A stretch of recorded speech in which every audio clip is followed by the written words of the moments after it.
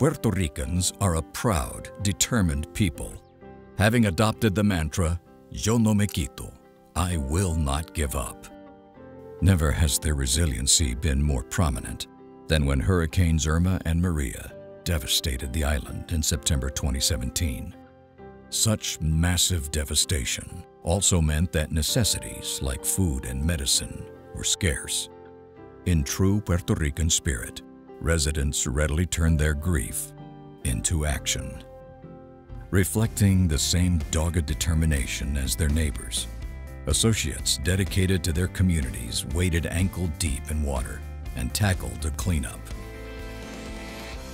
Knowing stores are the lifeblood of their neighborhoods, teams saw reopening as a way to restore a small sense of normalcy in their ravaged communities. Even with his own home and vehicles heavily damaged, Joel Villegas turned his energy to his community. Joel was part of a dedicated group who soon were serving neighbors in need of essentials like diapers, food and water, generators, vaccines, and prescription medication.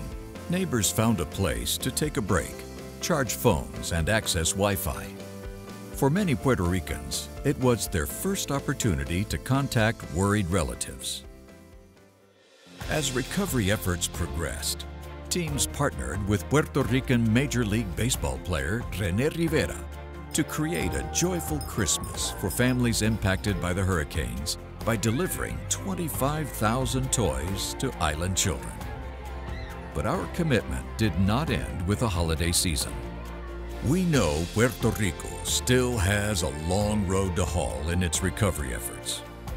We also remain committed to helping our 3 million neighbors as they strive to make their island feel like home again. Yo no me quito. I will not give up.